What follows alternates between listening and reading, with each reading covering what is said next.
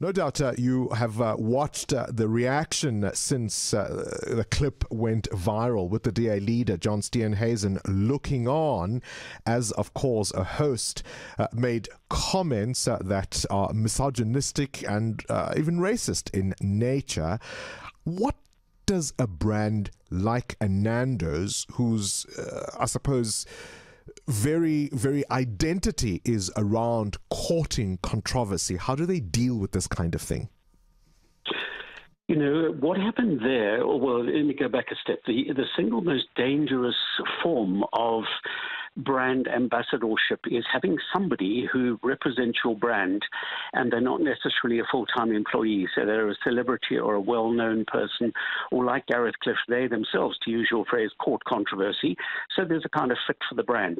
And what happens is uh, that's the highest possible risk to which you can expose your brand because if that person beats up a girlfriend or says something inappropriate or does what Gareth did this time, it has a massive impact on your business, as it has.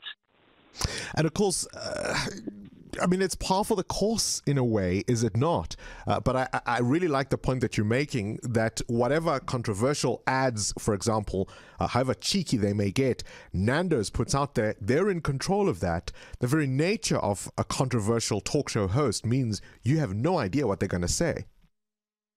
No, and the thing is this that uh, Nando's has uh, mocked and pilloried people and uh, taken digs at politicians and so on. And it's it's been a fairly exploitative kind of campaign. And I think what they did this time is, um, even in their response, their big error was that they trivialized what had happened by saying, "We know that you know," in that tweet that they put out. Yeah. Now they could have put out something more sober to say, "We're as upset as you are," but obviously this is going to take a little bit of time to sort out because people imposed unrealistic expectations on Nando's actually getting rid of Gareth.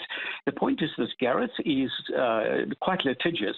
You may recall that when Mnet dumped him from yeah. Idols, he got uh, Dali Mpofu to yeah. take it to court for him, and he won.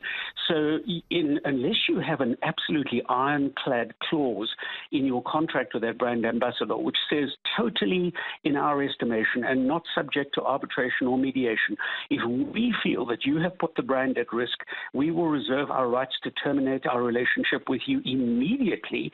And you, in signing this agreement, undertake not to uh, attempt litigation or anything like that, because you, you can't possibly do that. And w- also, the, the, other thing is Gareth is a loose cannon. You know, if I, I watched that video in detail and picking up on what you said, Bongani, about uh, John Steenhuisen's uh, facial expression, his uh, comments to Nicholas Bauer were really disingenuous. You didn't have to have any skills in body language to see him smirking and absolutely reveling in the pasting that uh, Gareth delivered, which was revolting in the, in the extreme. So there's no way you can associate your brand with that kind of behavior. Current events, developing stories, tough questions, your voice making a difference. This is Breakfast with Bongani Bingwa.